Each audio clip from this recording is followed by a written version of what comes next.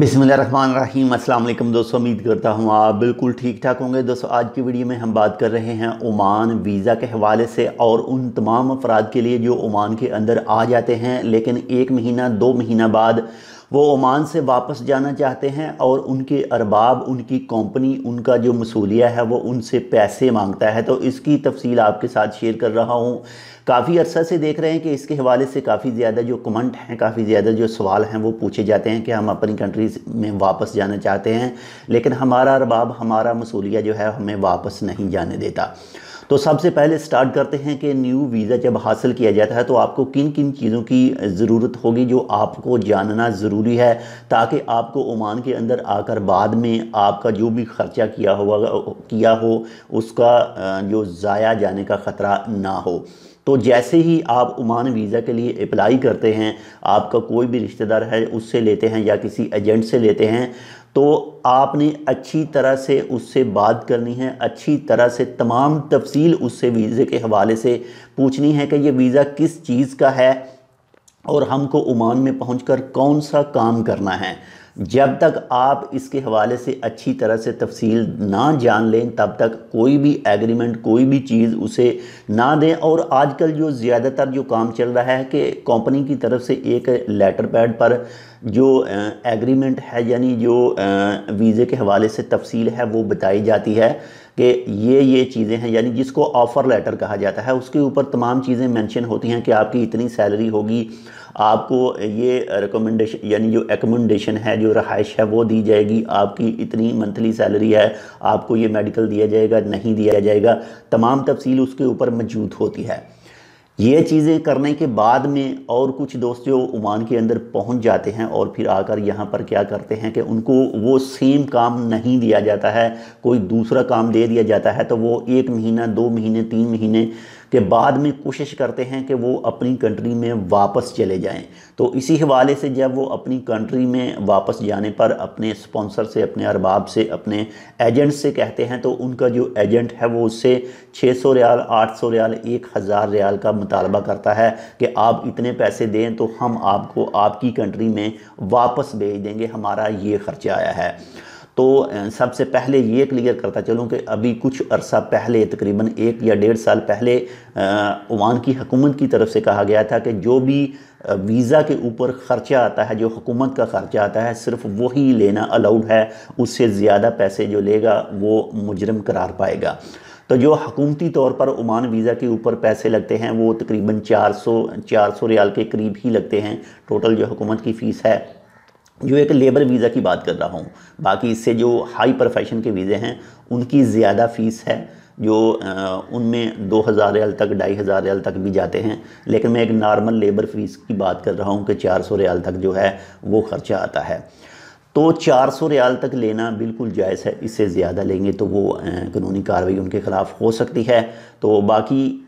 चल रहा है, ज़्यादा पैसे लोग लेते हैं। लेकिन कोशिश करें कि जो भी आपके पास ऑफ़र लेटर आए, उसके ऊपर जो कुछ लिखा हो, उसे अच्छी तरह से समझ लें।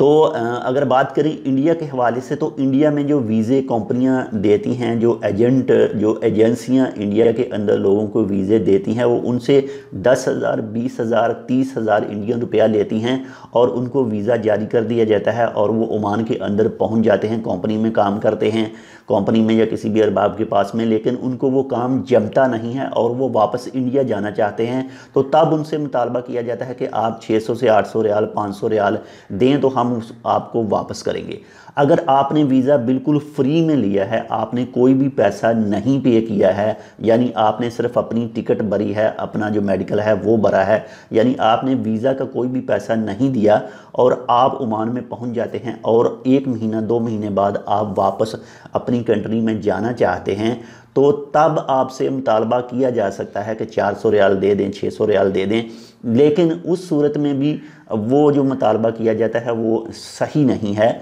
लेकिन फिर भी आपका स्पॉन्सर, आपकी कंपनी आपसे ये मुतालबा कर सकती है, क्योंकि हुकूमती जो ख़र्चा है, वो चार सौ, साढ़े चार सौ रियाल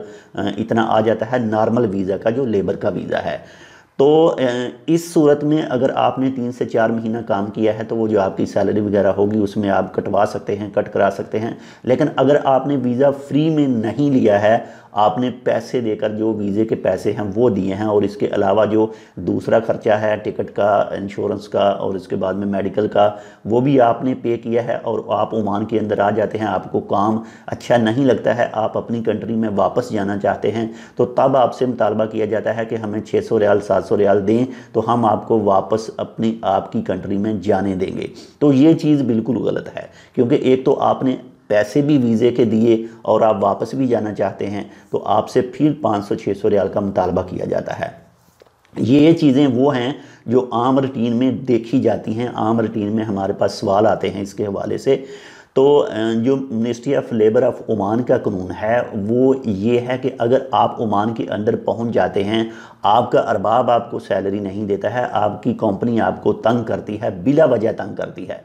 तो आप लेबर कोड के साथ रबता कर सकते हैं, शिकायत कर सकते हैं। आपका और आपके अरबाब के साथ वो आपस में मीटिंग वगैरह करवाएँगे सब चीज़ें पूछेंगे कि आपका ये आदमी है, इसको ये प्रॉब्लम है, वो प्रॉब्लम है। तो वो राज़ी करने की कोशिश करेंगे। अगर राज़ी ना हुए तो आपका हक है कि आप ओमान छोड़कर जा सकते हैं। आपको कोई भी महकमा नहीं रोकेगा। अगर आप बिल्कुल ठीक हैं और आपके ऊपर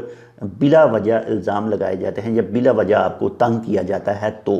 लेकिन अगर आप अपने मुल्क में मौजूद हैं, आपने वीज़ा हासिल किया और आपने बहुत सारी कहानियाँ सुनाई कि हम ओमान में आकर आपको ये करके देंगे, हम आकर वो करके देंगे और जैसे ही आप ओमान के अंदर पहुँच जाते हैं, लेकिन वो तमाम चीज़ें आप फॉलो नहीं करते हैं कंपनी के साथ, आपको वो चीज़ें नहीं प्रोवाइड करते हैं तो तब आपके ख़िलाफ़ जो कार्रवाई होती है कंपनी की तरफ़ से, आपको सैलरी अगर दो सौ रियाल बताई जाती है तो एक सौ रियाल दी जाती है, अगर आपको छुट्टी दो साल के बाद कही जाती है तो तीन साल के बाद दी जाती है तो तब इसमें आपकी गलती है। मिसाल के तौर पर आपने एक इंजीनियर का वीज़ा हासिल किया है अपनी कंट्री में, यानी इंजीनियर का छोड़ दें।